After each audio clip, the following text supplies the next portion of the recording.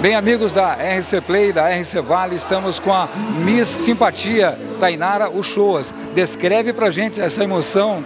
Ah, é uma emoção muito forte e é uma felicidade imensa, porque saber que as minhas amigas todas, que eu praticamente eu fiquei aí com elas lutando junto nessa conquista da coroa, mas enfim, realmente eu fui a, a candidata ao Miss Simpatia, então para mim é uma grande honra e eu estou muito feliz de verdade, com o coração emocionado é a mil.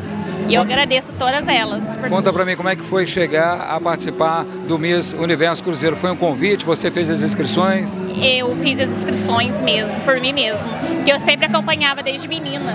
Então, aí eu sempre, eu quis sempre, mas eu tinha medo dessas coisas participar, por causa de altura, essas coisas. Mas eu cheguei aqui e eu, hoje eu estou a minha simpatia.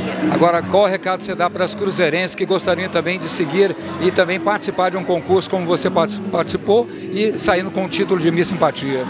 Eu desejo que elas corram atrás, não desista, porque todas as mulheres também é, poderiam estar aqui no meu lugar também, ser a, ser a Miss Simpatia ou a Miss Cruzeiro. Portanto, tá aí a palavra da Miss Simpatia Cruzeiro Tainara Uchoa. Beto Williams para a RC Play.